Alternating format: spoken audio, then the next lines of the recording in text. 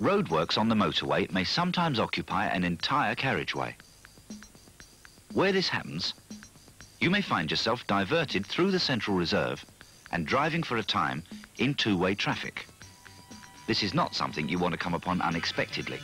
So, from some distance ahead, the signs prepare you for the diversion.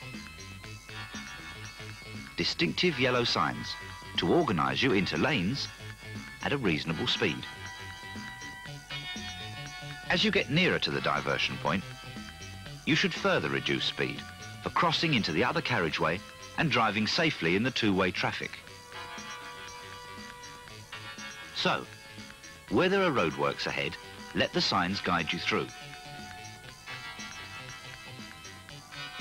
Until it's safe to go back to normal motorway driving.